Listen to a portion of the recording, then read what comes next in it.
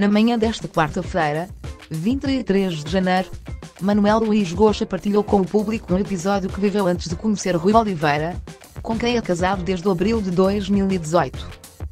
Um momento da sua vida privada nada simpático, que poderia ser traumático, não fosse a boa disposição do parceiro televisivo de Maria Sacara Gomes.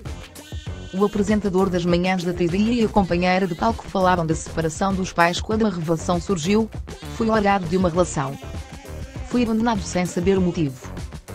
Em Cabo Verde, atirou o comunicador. Não é terrível? Pergunta. Já lá dão 20 e tal anos. De qualquer forma, Manuel Luís Goxa sublinhou que esse momento não abalou a sua paixão pelo arquipélago africano. O que acho terrível é acabar-se uma história de amor sem se saber porquê.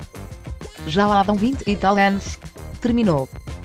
Tempos depois, Goxa conheceu Rui, com quem está junto já há quase duas décadas.